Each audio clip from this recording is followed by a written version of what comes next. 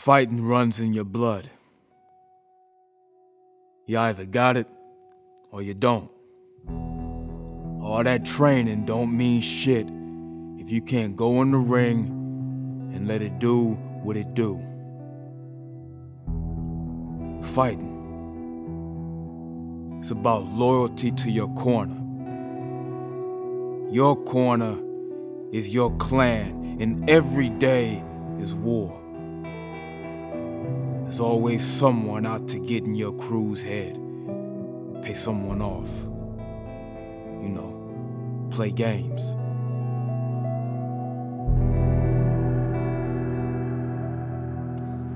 Fighting to turn a person, a friend, brother, a father and son.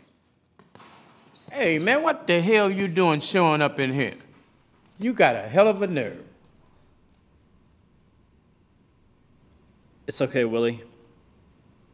You got something to say, yo? Look, son, I didn't come here to play any games. I've changed. And that's some bullshit? Why don't you just say it? Your father's left you. You don't have anyone. You are alone.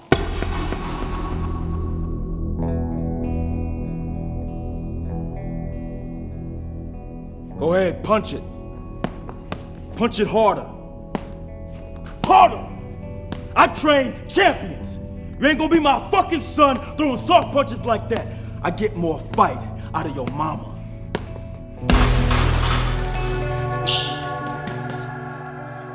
You staring at old man? Sure did train the best. You ain't never been my trainer.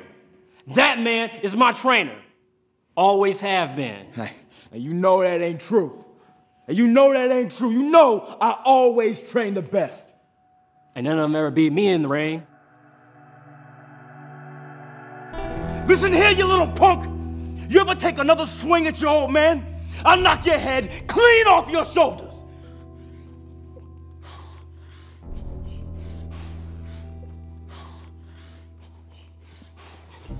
Here's the way I remember it. Occasionally you manage to stay out of jail for a week or two. After a few drinks, you slap the gloves on me and slap me around. Look, son, I, I know I did you wrong. But training you, a, a, a champ, that's all I had. And you, and you just gonna just take that away from me? I done told you. You ain't never been my trainer. You sure as hell ain't never been no father. Nice shoes, Playboy. Why don't you click them shits together and go home?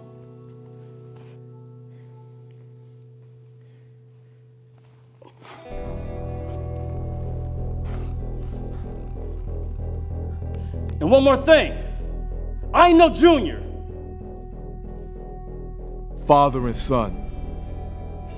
I thought that would never change. But I realized neither will the sometimes painful reality that